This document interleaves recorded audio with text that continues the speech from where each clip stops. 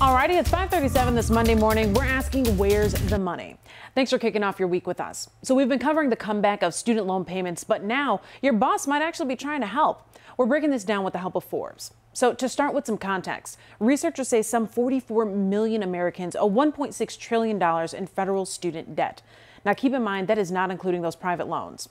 The new provision we're talking about this morning, though, has to do with a rule called the Secure Act 2.0. It lets employers offer extra savings to younger workers. They're doing this by paying out 401k matching contributions to those who are making student loan payments. And here's a twist. Employees can get the payout even if the employee is not contributing to their 401k on their own. So the big hangup though is who actually gets this benefit because it's up to the employer to participate in action, your boss would look at much of your salary, how much of your salary rather is going to student loan payments. Now, in the example that Forbes found, a company paid its workers a 5% contribution to their retirement account every year.